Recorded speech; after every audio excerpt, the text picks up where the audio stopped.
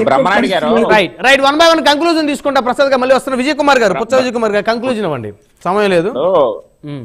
బ్రహ్మనాయుడు గారు ఆయన చాలా విషయాలు మాట్లాడారు మీడియా మాట్లాడారు ఫస్ట్ మీడియా సాక్షిని అనగదొక్కేస్తా ఉన్నారు ఆంక్షలు పెడతా ఉన్నారంటే మరి మీరు మూడు నాలుగు ఛానల్ని తొక్కేశాడు కదా మీ జగన్మోహన్ రెడ్డి దానికి మీరు సమాధానం చెప్తారు మీరు అంటే మీకు ఒక. న్యాయం అలా కాదు మీకు ఒక న్యాయం. ఇంకో మీ సా- మీ ఓ. సాక్షి ఛానల్ ఒక న్యాయమా ఉండండి ఉండండి రెండోది ఉద్యోగాలు. మాట్లాడుతా ఉన్నారు రమణారెడ్డి గారు ఉద్యోగ ఉద్యోగాల. కోసం మాట్లాడారు ప్రసాద్ గారు. ఉద్యోగాలు గతంలో మేము తీసుకొచ్చినటువంటి కియా మోటార్స్ గానీ చిత్తూరులో సెల్కోన్ గానీ. డిక్సోన్ గానీ టీసీఎల్ గానీ హీరో మోటార్స్ గానీ అశోక్ లైలాండ్ గానీ ఇస్సుజీ గానీ ఇలాంటి కంపెనీలన్నీ మేము తీసుకొచ్చాం. ఎవరు తీసుకొచ్చారయ్యా? మీరు మాట్లాడుతా ఉన్నారు. రెండోది మీ ద్వారాగా వెళ్ళిపోయినటువంటి కంపెనీ పేర్లు చెప్తాను వినండి. అమర్ రాజా బ్యాటరీ ఆరు వేల మంది రోడ్డును పడేశారు మీరు. అమర్ రాజా బ్యాటరీ తగిలేసి. విశాఖపట్నంలో హెచ్ఎస్బిసిని తగిలేసి వేలాది మంది ఉద్యోగాలు పొట్టలు కొట్టారు. అదే విధంగా Franklin Templeton Adani data center Lulu mall ఇలాంటి కంపెనీలన్నీ కూడా తరిమేసినటువంటి చరిత్ర మీది. మీరు మాట్లాడితే ఉద్యోగాల కోసం. ఈ రోజు ఉద్యోగ కల్పనలో ఖచ్చితంగా ఈ రోజు ఉద్యోగ కల్పనలో ఇరవై లక్షల ఉద్యోగాలు చెప్పినటువంటి దాన్ని ఖచ్చితంగా ఇస్తాము. అంటే. రెండోది ఈ రోజు వీళ్ళు చేసే ప్రతి కార్యక్రమంలో కూడా కుంభకోణం. బ్రహ్మనాయుడు గారు ప్రతి కార్యక్రమం వాహనాల కొనుగోలు ఇంటి వద్దకే సరుకులు ఇస్తామని చెప్పి వాహనాల కొనుగోలు రేషన్ రేషన్ కోసం. రేషన్ వాహనాలు రేషన్ వాహనాల. కొనుగోలులో కూడా భూ కుంభ- అందులో కూడా పెద్ద కుంభకోణం. అందులో కూడా వేలాది కోట్లు తినేశాడు జగన్మోహన్ రెడ్డి. రెండోది అందులో ఏ రెండు వందల గ్రాములు నూట యాభై గ్రాముల దగ్గరలోంచి కూడా ఆడున్నాడు. అక్కడ పక్కన కొడాలి నాని పౌర శాఖ మంత్రి ఆ రోజు మాట్లాడు సన్నబయ్యం ఇస్తానని చెప్పినటువంటి వాడు. ఆ ఈ రోజు ఎక్కడున్నాడు? కనీసం దాని మీద కూడా మాట్లాడినటువంటి దుస్థితి. పేదల ప్రభుత్వం అని చెప్పి గుంట నక్కల్లాగా దాని మీద దోచుకొని తిన్నటువంటి కోట్ల రూపాయలు అంటే అంటే ఇప్పుడు. ఇప్పుడు ఒకటి విజయ్ కుమార్ గారు మీరు కొడాల నాని గారి పేరు తెచ్చారు కాబట్టి ఒక ఒక ప్రశ్న అడగాల్సి వస్తుంది. ఇప్పుడు నిన్న ఏదైతే పౌర సరఫరా శాఖ మంత్రి నాదెళ్ళ మనోహర్ గారు కొన్ని అవకతవకలు జరిగినాయి అని చెప్పేసి నేను మాట్లాడారు. చాలా దగ్గర కూడా రేషన్ నిలిపే ఉన్నారు. ఈ రెండు మూడు రోజుల్లో ఆయన ఎంక్వైరీ కూడా వేసినట్టున్నారు. అయితే ఇప్పుడు దీని. కొడాల నాని గారు కారణం అంటారా సో ఇవన్నీ కూడా కొడాల నాని గారు తినేశారంటారా? కొడ- కొడా Kodali Kodali Nani is the minister అండి దానికి. ఇప్పుడు ఒక పౌర శాఖరాల మంత్రిగా కొడాలి నాని స్టార్ట్ చేశాడు. ఆ రోజు సన్న బియ్యం ఇస్తానని చెప్పినటువంటి వారు ఎవరు చెప్పండి? కొడాలి నానియే కాదా? అవును ఇవన్నీ కూడా ప్ర- ప్రజలకి మభ్య పెట్టి మోసం చేసి ఈ నూట యాభై గ్రాముల దగ్గర నుంచి రెండు వందల గ్రాములు తగ్గే విషయంలో కూడా కొడాలి నాని దగ్గర నుంచి జగన్మోహన్ రెడ్డి వరకు కూడా ఎక్కడి నుంచి ముడుపులు వెళ్ళినటువంటి పరిస్థితి. వీళ్ళు ఎక్కడి నుంచి ఎంత టైఅప్ టు జగన్మోహన్ రెడ్డి? అంటే ఆ మంత్రి దగ్గర నుంచి జగన్మోహన్ రెడ్డికే ఖచ్చితంగా దీంట్లో ఉన్నటువంటి వాటాలు. అంటే మీరు ఇవన్నీ ప్రూవ్ చేయాలి. ప్రూవ్ చేసినప్పుడు మాత్రమే yes. ఎస్ ప్రూవ్ చేస్తాం ఇవన్నీ కూడా. ఇంకోటి మీకు చెప్తా ఉన్నాను. ఈ రోజు పెద్దిరెడ్డి రామచంద్రారెడ్డి పొంగనూరు ఆ చిత్తూరు జిల్లా మొత్తం అంతా కూడా మైనింగ్ మాఫియా చేస్తాడు. ఎవరో పెద్దిరెడ్డి రామచంద్రారెడ్డి మిథున్ రెడ్డి కొడుకు కూడా. ఈ రోజు దాని మీద కూడా ఈ రోజు బయటికి తీసినటువంటి పరిస్థితి ఎర్రచందనం ఇవన్నీ కూడా వస్తా ఉన్నాయి. బ్రహ్మనాయుడు గారు ఒక్కొక్కటి ఒక్కొక్కటి వస్తా ఉన్నాయి. ఎవరిని వదిలిపెట్టే ప్రసక్తి లేదు. ప్రజల తొమ్మ- సొమ్ముని దోచికి తిన్నటువంటి ఎవరిని కూడా ఊరుకునే ప్రసక్తి లేదు. ఖచ్చితంగా వాళ్ళందరూ కూడా ఏదైతే ఉందో చట్టానికి ఖచ్చితంగా వాళ్ళు సమాధానం చెప్పాల్సినటువంటి అవసరం ఉంది బ్రహ్మనాయుడు రైట్ ముక్కాసీన్ రెండోది గారు. మొత్తానికి గత ప్రభుత్వంలో జరిగినటువంటి ప్రతి ప్రతి శాఖలో జరిగినటువంటి అవినీతిని ఖచ్చితంగా కూటమి ప్రభుత్వం బయటికి తీస్తుంది అంటున్నారు విజయ్ కుమార్ గారు. సో ఈ ఐదు సంవత్సరాల్లో చూడొచ్చా? మీ వాయిస్ మీట్లో ఉంది అన్మ్యూట్ చేయండి ఒకసారి. వాళ్ళు వేదాలు వర్ణించినట్టు మాట్లాడుతున్నారు ఈ ప్రసాద్ గారు పాపం. ఇంకా ఆయన ఇంకా పూర్తిగా అవగాహన లేనట్టుంది. జగన్మోహన్ రెడ్డిని ఎప్పుడో ఇంటికి పంపించారు కదా జీవితాంతం ఇంటికి పంపించాం. మళ్ళీ జీవితం లైఫ్లో మన ఆంధ్రప్రదేశ్ టచ్ అయ్యాడు జగన్మోహన్ రెడ్డి. తెలుసుకోండి ముందు. అన్నింటికంటే ముఖ్యంగా మీరు అంటున్నారే ఇలా బస్సు ఇచ్చేయగలడు నీ పథకం ఇవ్వగలరు లా పథకం ఇవ్వలేరు. మీరెవరా మాకు చెప్పడానికి? మేము జస్ట్ శాంపుల్ చూపించాం. ఇంకా మధ్యనాథ్ పవన్ కళ్యాణ్ ఇంకా రంగంలో దిగితే ఉంటుంది మీ అందరికీ సినిమా మామూలుగా ఉండదు. మామూలు సినిమా ఉండదు మీరు చేసి అవినీతి వస్తుంది ఇంత కాదు.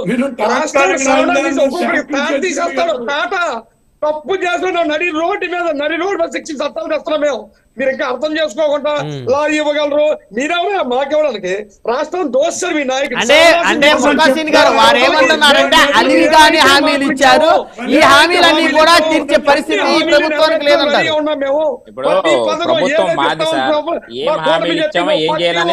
సత్తా ఉన్న ప్రభుత్వం ఇవాళ కూటమి. అది తెలుసుకోండి ప్రజలకి బిస్కెట్ చేసే ప్రభుత్వం అయితే మా కూటమి అయితే కాదు. మీరు ఇది చెప్పేసి మీరంతా బీహార్లో చేసేస్తున్నారు బీహార్లో తయారు చేసి మీరే ఇచ్చారు. సర్వనాశనం చేసిన మీరు ఇది.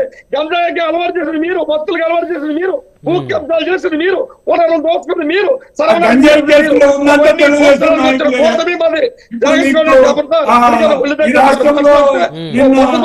అంతేగా నోరు ఉంది కదా.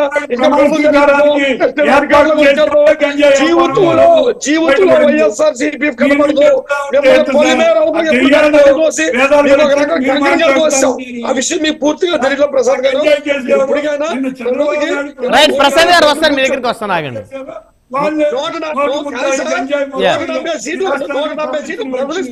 మీరు పరిపాలన పక్కన పెట్టేసి ఒక రోజు వచ్చి కొడాలని వచ్చి ఏక పీకలేదు ఎందుకు పీకలేదు? ఇయ్యా మీరు ప్రెస్ మీట్లు పెట్టి మాట్లాడేది.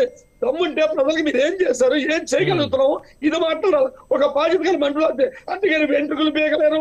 ఏకలు పీకలేరు? ప్రజలు పీకి పంపించారు మిమ్మల్ని. ఈ రోజు పొలిమేర రోజులకి జగన్మోహన్ రెడ్డి పదకొండు సీట్లతో ఏకలు పీకి పంపించారు. మీరు సత్తా ప్రజలకు సత్తా. ప్రజలు తలుసుకుంటే అలా ఉంటుంది. ఆ విషయం మీరు తెలుసుకోవాలి. రైట్ పుల్లారావు గారు. చెప్పండి. సో మొత్తానికి పౌర సరఫరా శాఖలో జరిగిన అవినీతి ఏదైతే ఉందో అది కొడాల నాని గారి దగ్గర నుంచి మొదలైంది. దానికి జగన్మోహన్ రెడ్డి గారి కూడా సంబంధం ఉండేటువంటి అవకాశం ఉంది అని చెప్పేసి మరి పుచ్చ విజయ్ కుమార్ గారు ఆరోపణ చేస్తా ఉన్నారు. ఇది అందరూ మన పేపర్లో వినేది ఏంటంటే నరేంద్ర మోడీ ఈడీ సిబిఐ విరోధుల మీద పెడుతున్నాడు అయ్యో అయ్యో అంటున్నారు. అది మీరు కూడా విన్నారు కదా చూస్తున్నారు తప్పకుండా చెయ్యాలి. అది. నేనేమంటానంటే నరేంద్ర మోడీ ఎంతమందిని ఈ రాజకీయంలో దోషేసిన పంది కుక్కలను పడతాడో అంత మంచిది. ఆయన వెళ్ళిపోయాక ఆయన పట్టండి ఆయన మిత్రులు పట్టండి మనం వెళ్ళి పట్టలేం కదా. ఈవేళ నేను ఇండివిజువల్గా ఎవరు అందరు కరప్షన్ నాకు తెలిసిన పెన్షన్ పెట్టి సాధించలేను కదా. నా మీద పడతారు కదా ఒంటరిగా ఉన్నాను కదా. సో తప్పకుండా ఏ ప్రభుత్వం అయినా పాత ప్రభుత్వాల మీద కరప్షన్ ఉంటే పట్టాలి. పట్టాలి తీవ్రంగా వెళ్ళాలి తిరిగి వాళ్ళు పట్టాలి. లేకపోతే బయటికి ఎలాగ వస్తుంది? ఈవేళ బయటికి ఎలాగ వస్తుంది? ఉమ్. ఈడీ ఈడీ అంటారు. ఈడీ వెళ్ళి ఇంట్లో ఇంట్లో చూడదు. ఈడీకి ఇన్ఫర్మేషన్ ఇస్తారు ఇన్ఫర్మేషన్ ఆ వాటాదారులు ఎవరైతే అసంతృప్తిగా ఉన్నారో వాళ్ళు ఇస్తారు సిబిఐ కూడా ఫోన్లో ఏం చూడదు. కేసు రిజిస్టర్ అవ్వే వరకు. కేసు ఎలా రిజిస్టర్ అవుతుంది? నేను వెళ్ళి చెప్తా. ఆ వ్యక్తికి డబ్బు ఇచ్చానండి మళ్ళీ అది చేయడానికి చెప్తాను పట్టుకుంటాను సో మనం ఒక సిటిజన్గా సిటిజన్గా కరప్షన్ ఆ పేర్లు అనవసరం. తిన్నారంటే పట్టాలి. తప్పకుండా పట్టాలి. దానికి అసలు ఎవరు మనం ఇక్కడ ప్యానల్లో ఉన్న వాళ్ళు బయట వాళ్ళు మనకు తెలుసు కదా. రాజకీయంలో మనం పార్టిసిపేట్ చేయలేం కదా. ఆ యాభై కోట్లు వంద కోట్లు తీసుకొచ్చి బల మీద పెట్టి ఎమ్మెల్యేకి పోటీ చేయలేం కదా. పంతం మంచిది. వాళ్ళు కూడా రివర్స్గా పట్టాలి ఉమ్. నాకు ఏం దాంట్లో ప్రాబ్లం లేదు. కానీ నేను చెప్పేది ఏమిటంటే ఇందాక కూడా చెప్పా. నేను మళ్ళీ చెప్తున్నా. చంద్రబాబు నాయుడు గారికి ఒక మంచి అవకాశం. ఆయన నలభై ఐదు సంవత్సరాల అనుభవం ఉన్నది. కొత్త దారి తీయాలి. ఆ బిల్డింగ్ డిమాలిష్ చేయమని నేను ఎందుకన్నానంటే అది మిత్రులు ఎవరో గవర్నమెంట్ వాడాలి. అది ఉండకూడదు అది నువ్వు తప్పు చేసావు కొదైపోతుంది నాలుగైదు వందల కోట్లు. ఎలాగో వేస్ట్ అయిపోయినా తీసేసి ఆ భూమి మీద ఎంతో అజిటేషన్ చేశారు కదా జనసేన వాళ్ళు అంతా నాకు జ్ఞాపకం ఉన్నది. తిరిగి ఇచ్చేయాలి. రెస్టోర్ చేయండి. అంతేగాని కరప్షన్ని పర్వాలేదు అది ఉంచుదాం అంటే కష్టం. ఎన్నో బిల్డింగ్స్ ప్రపంచంలో స్లేవ్స్తో కట్టించారు. స్లేవ్స్తో. ఇవాళ బెంగాల్లో ప్రతి బిల్డింగ్ గవర్నమెంట్ బిల్డింగ్ పాతదే బ్రిటిష్ లక్షల మంది చచ్చిపోయిన వాళ్ళు భారతీయులు చెమట మీద కట్టించారు. చాలా ఎలా ఉన్నాయంటే కొంతవరకు ఉండొచ్చు కొంతవరకు తీసేయాలి. మీరు కరప్షన్ మీద సిగ్నల్ ఇస్తున్నారంటే నిజంగా ఆ బిల్డింగ్లో అలాంటివి ఉన్నాయంటే యాక్షన్ తీసుకోవాలి. అవి పర్వాలేదు దానికి ఏదో వాడతాం గెస్ట్ హౌస్ కో చేస్తాం హోటల్కి ఇస్తాం అంటే జగన్మోహన్ రెడ్డి గారు కట్టింది మంచిది ఆయన మనం శభాషం చెప్పాలని నేను అంటాను. ఎందుకంటే అది పడగొట్టలేదు కదా. సో ఆలోచన చేసుకోవాలి. వాళ్ళ ఇందాక ఒక ఫ్రెండ్ అన్నాడు గవర్నమెంట్ మాది గవర్నమెంట్ ప్రజల్ని మాది అంటే కొన్ని సంవత్సరాల వరకు పరిపాలించవచ్చు ఎవరైనా జగన్మోహన్ రెడ్డి గారు కూడా నాది అని ఆలోచించుకున్నాడు అది పొరపాటు చేశాడు. ఆ ప్రసాద్ గారు చాలా పొరపాటు అది. ఆ, ఎవరిని ప్రజల్ని టెంపరీగా మనకి తాళం ఇచ్చారు ఆ ఇల్లుకి జాగ్రత్తగా చూసి పర్మనెంట్ ట్రస్టీస్ కాదు కదా. పర్మనెంట్. గుడికి ట్రస్టీస్ కాదు కదా. కేర్ఫుల్గా చేసి కరప్షన్ అటాక్ చేస్తే వి వెల్కమ్ ఇట్ అందరూ వెల్కమ్ చేయాలి. ఎందుకంటే మనం సామాన్యులకి మన చేతిలో రాజకీయం లేదు. మనం ఎన్ని చెప్పుకున్నాం. ఆనెస్ట్గా చెప్తే నాతో అందరు తర్వాత అంటారు ప్యానల్స్లో నా మీద వ్యతిరేకం ఉన్నవాళ్ళు కూడా మీరు కరెక్ట్గా చెప్పారు అది తప్పకుండా ఎవరు చేసినా వెల్కమ్. వాళ్ళు తిరిగి కరప్షన్ ఇల్లు చూపెడితే ఒక ఆరు నెలల తర్వాత we welcome it so let us see thank you right right Prasad గారు. సో మొత్తానికి